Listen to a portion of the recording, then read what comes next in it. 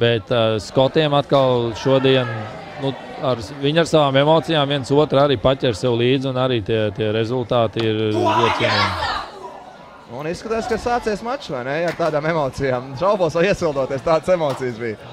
Nu, zini, varbūt Naidārta ir iemetā sildoties. Jā, mums nerādā Pagaidām šo ne, ne, nekādas rezultātus. Tad pusfinālā jau arī nu, nodrošināja tādu nu, labu izējas pozīciju rītdienai cīņā par nāciju kausu. Tikmēr, jā, gaidām arī mums šobrīd grūti pasakot līdzi pastāv vēl šīs grafikas, bet pagaidām vācietis labi ir iesācis. Viņš jau varēja nodzēst 80, neizdevās to izdarīt. Šobrīd, jā, palēgiem vadībā Ungārija ir 1-0, 261. Un vēl nodzēš 95 Ungārs, 161 un 107. 15. Ah, nē, 60 tomēr, jā. Ļoti labi, 78 un ļoti labs rezultāts. Pat 129, jā, 129 izdodas uzbest vācietim, ko atbildēs uh, Ungārs. Labi, arī ļoti labi. Ļoti labi, Lūkā, 107 nodzēsa. Ungārs nodzēsa 107, arī iespaidīgs rezultāts un Ungāram attiecīgi tas ir otrais sets. Ļoti līdzīgi pagarām iesācies uh, cīniņš starp Vāciju un Ungāriju. 107, jā, tas ir viens no lielākajiem rezultātiem tieši nodzēšot, ko esmu redzējis šodien. Tas nav pats dīvainākais, ko es esmu redzējis. Ir, uh, tā, maz, mazliet grūti būs izskaidrot, bet uh, arī vācietis. Uh, mēs, mēs redzējām, viņu, viņš uzvarēja Polijas Openu. Tad, kad mēs Latvieši daudz bijām aizbraukuši Polijas Openu 2000 kaut kādā 13. un 14. gadā. Jā. 3-1 Ungāru vadība. Ja ai, ai, ai, ai, vajadzēja teikt, man, es jau tagad esmu Ungārs šajā vai jau es vācietis. es kaut kā zināju, prognozi uzvar uz vāciešiem, bet ā, nu izdodas, jā. Vācietis tomēr uzvar ar 10 un pēc tam 5 reizes 2. Ko es vēlēšu teikt, jā, jāplūko, kas notiek pārējās spēlēs. Jāplūko, kas notiek pārējās spēlēs, jo tur jā, redzam, ka pagaidām Čehija pret Velsu vadībā 3 pret 1. Lūkā. Bet, ja man būtu jāizvēlas šīs trīs valstis, kur aizbraukt spēlēt turnīrā, prāvi izvēlēties. Jā, un, un nav jau arī ļoti dārga, dārgs galamērķis. Nav galīgi. Cenas principā kā Latvijā pat lētākās ir šī novembrī, jā, un jā. Prāgā ir tajos pašos skrodziļos atsevišķos un pārējais lētāk kā Latvijā restorānos. Bet, bet jā, šā laikā, nu, es atkal gribu pieminēt, nezinu, uzslavēt vai kā, nu, mums organizācija ir atkal, nu, pavisam citā līmenī salīdzinot ar Čehiju. Nu, tas, tas, tas, protams, lielums, tas ir viens no faktoriem, kas to ietekmē, jā izlasīt. Šobrīd tā mums izskatās, bet Ungāriem varbūt, varbūt sapriecājušies. Arī opa, Ungāri tikmēr paņēma septīto setu. Līdzīgi, ļoti līdzīgi. Ir pamīšus, jā, atspēlēs vācieši to 1-3, bet redzam, atkal ir uh, neliels pārsvars Ungāriem. Un, uh, Labi, tiešām juniori strādā Ungārijā. Vakar paslavējām, vakar pastāstīja par to, ka tur ļoti pievērš uzmanību tieši junioru sportam dārtā un tradīcija arī ir spēlētāji. Ja? Jā, Jo, jā, jā, nu, piemēram, Singapūrietis um, Lims, Jā, Pols Lims, nu, pirmais, uh, kurš iemet uh, Naidāru finišu televīzijā. Un, un, un joprojām, es pat negribu teikt, kļūdīties, bet vairāk, vairāk nekā 70 gadu jā, vecumā joprojām pārstāv pasaules kausā un pārstāv ar nu, nu, rītīgu odziņu turnīru. Jā, visi par viņu Man, man, manuprāt, pat ja, pat ja vietējie spēlētu pret viņiem, man liekas, eh, vietējie vairāk atbalstītu to, to, Singapūru, nevis vāciešu. Jā, tas ir daudz. Jā, liekas, ka tas nav nekas, bet patiesībā tas ir diezgan daudz. Juniorā bija kāda limita šajā turnīrā, piemēram? Nē, tie, tie ir standarta noteikumi visur. Jā, tas, jā. Opā, 3,19. vai ne šeit tikko bija? Svarīgs ir nākamais vērtības tieši vāciešiem. 20 reizes 2 ļaus atkal pietuvoties līdz viena seta deficītam. Un ir uzreiz, jā, vācieši uzreiz. Neliek neko gaidīt un uz 16. šautru nokārto 4. setu savai komandai. Jā, kvalitīvs leks priekš vāciešu. Nu, pagaidām tā arī visas dažādos visos šajos dueļos, ko mēs skatāmies, kaut ko sarežģīti paredzēt.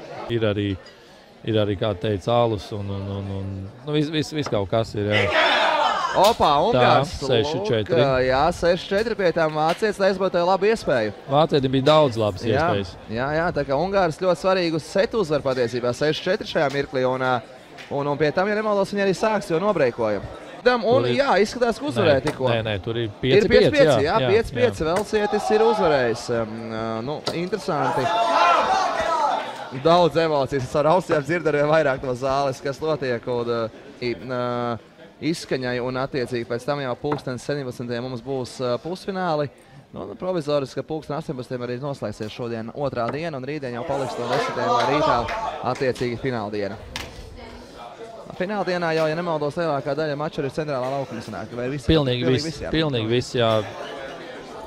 Tas tādā ziņā uzreiz visu uzmanību, visu fokusu arī centrālajām mērķim, jo tagad jau tā uzmanība redzam arī ir beidzās spēle, skatos, nu, mēs nedrīkstam iet uz to, to arēnu, tāpēc ka arī fani saskrien, grib visādas fotogrāfijas un autogrāfus. Un, un, uh, un vairs to spēli neviens nestāsta, kas tur notiek skatu. Apmēram tas, jā. Un, un arī tā, tāpēc. Uh, Šajā gadījumā par laimi es vēl neesmu tik augsts, ja, lai, lai, lai, lai tas tiešām sabojātu. Kā, kādu brīdi tas tiešām sabojātu šajā turnīrā. Jā, bet katrā ziņā šobrīd mums turpinās sīvas cīņas. Redzam, ka visos pāros 6 mums ir šeit. Reizi, jā, jā, bet, bet, bet kā emocijām pavadīja, vai ne? Ir ceļš, ja tu esi tādā labā tempā iegājis, kad tu, nu jā, tā pēdējā bulta mēram jau, nu, kad tik ātrāk tik pēc bultām pakaļ. Jā, jā. Vēls izlīdz, tas 6, 6, tad tur jā, jābūt būs breika vēl, lai citādi nesaies. Bet labi šeit, jā, mēģināsim 12 nozaist. Paliek 87. Ungāriem 24 jānodzēš dubultais 12 ir izdarīts. 7-6 Ungāri savu atkal mešanu nosargā. Patīk vispār šajā spēlē, cik ļoti džentlmeniski uzdevās abas komandas iekšējie konflikti vēsturiskie.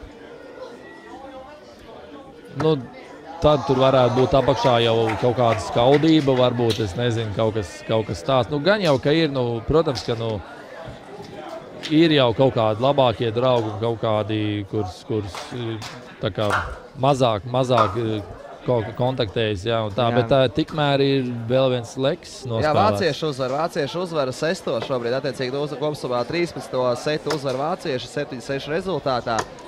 Tas būtu tikai loģiski patiesībā. Tas, jā, gan... Bet tas ir tikai uz fināla skatuves, jo, mm -hmm. jo uz parastiem mērķiem tiek vienkārši pagriezti sektori. Un, un, un tad jau Opā, Ungārs paņēma, lūk, Ungārs paņēma svarīgo 15. setu. Un nākamo sāka vācieši. Jā, tā kā Rikāri, kas vēl traģiski tā notic vāciešiem, bet nu, tomēr viena setā tālumā Ungāri no pusfināla. Nu, Velsieši jāpieslēdz Velsiešiem. Viņi ir tagad pagaidām vistuvākā nākamie, kas var noslēgt šo spēli un iekļūt attiecīgi. Jā, redzam, ļoti tuvu 84 Velsieti ir jau var dzēst tos, Čehiem ir 125 un drīz jau varam varbūt fonā dzirdēt Velsiešiem emocijas, ja izdosies nodzēst 84. Teikt, mēs gandrīz uzvarējām Ungārus. Arī. jā, jā, šis gandrīz ir. 17. setā. Mums Latviešiem patīk šo gandrīz. Var teikt, ka mēs eh, kaut kur esam kaut kam zaudējuši, kas ir pēc tam uzvarējuši. Jā. Hokejā bieži tā ir bijis vēl kaut kur, bet, bet, protams, tas nav objektīvi. Tas vairāk tīri sevis vierdāšanas nolūkos. 70 šeit, ja vāciešiem jādzēš nost, Ungāriem 22, 16. Ir, jā, vācieši izlēma, oh. kādas emocijas. Un, jā, es gribēju teikt. Un kā paskatījās kaut, metriekiem, kaut, kas, kaut, kaut kas tāds neredzēts no vāciešiem, jā, bet, nu, var saprast, protams. Un, jā, bet es arī šeit bija interesanti, ka paskatījās pirmais pretiniekiem un uzbrāva kārtīgi. Jā, un es varu var iedomāties, kas tur būtu, ja tur būtu kāds skots vai, vai, vai, vai velsietis. Tur Jā, eksplodēt. 8, 8. Mēs esam nonākuši Lūkā centrālajā mērķī. Tā kā šis dubultais 12. bet var vācēt. Jā, jā. Tā kā arī, arī Ungārs ne, netrāpīja tā fonā, mums ir emocijas. Ir, ir, ir, ir tālāk, jā, ir, jā. ir uzvarējuši turkus. Tā kā ir iepret Velsu. Jā, pusfināls vietas dokumentēts. Tur varētu iet kārsti. Jā. jā. Abas emocionāls komandas. Tuvu, bet neskaitās. 6-2. Nu, vēl tuvāk. vēl tuvāk. Kārtīgs šedevrs noslēgumā tev ar šodienas komentēšanā. Vācijas man patīk, ka redzam, kā abi uztraucās. Ir vācieši, un tomēr vācieši. Yeah. Un tomēr un šis vācietis kādus divus mačus uzvarēja. Yeah. Gan attiecīgi 16. setā, gan arī 17. setā. Un tu arī mani vinnēji. Es teicu, Jā, es, biju vāciešiem. es teicu, ka žokā. Viņš man savu netic, kas noticis. Viņš tiešām, es jūtos skudruģis, gan jau teikt, kā saka, skriem zem ādas.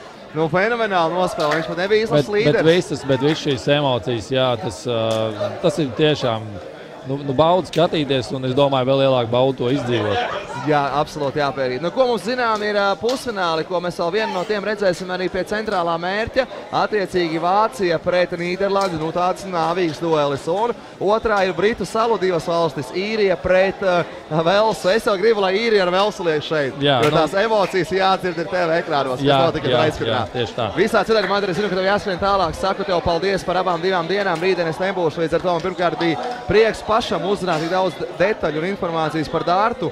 Citā dimensijā arī man jau ir galva saistībā ar dārtu. Tik daudz interesantas informācijas, ko arī kādreiz, kad man prasīs, kas ir dārts, varēšu pastāstīt, nodošu informāciju. Visā citādi, es domāju, arī skatītāju vārdā varu teikt paldies, ka iesaisties šajā turnīrā, pienāc pie komentēšanas. Par to tev milzīgs respekts un uh, visā citādi gaidīsim tevi atpakaļ lielās skatuves, lai jau pie TV ekrāniem par tevi varam redzēt. uh, pārējiem, jā, turpinām skatīties šautriņus, izbaudīt šautriņus, mācīties. Uh, un, uh, Un rītā liela fināla.